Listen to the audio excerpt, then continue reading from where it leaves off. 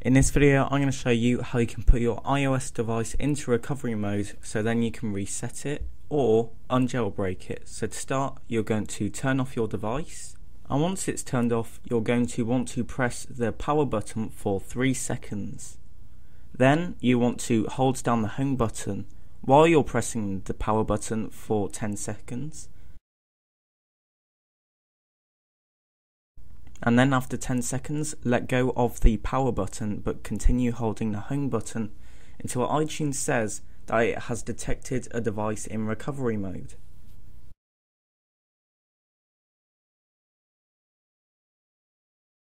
And on your device's screen it should say connect to iTunes.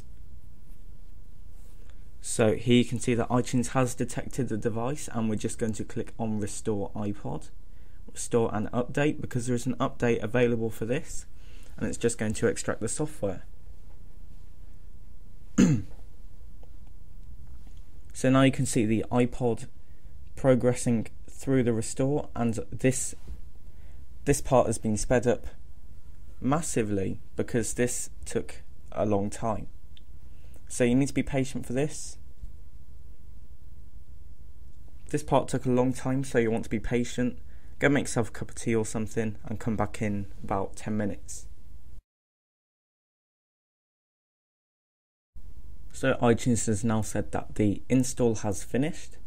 So once your iPod has finished loading the software, you can just set it up as a new device. But that's it, make sure to subscribe and hit that like button if it helped, and I will see you in the next video.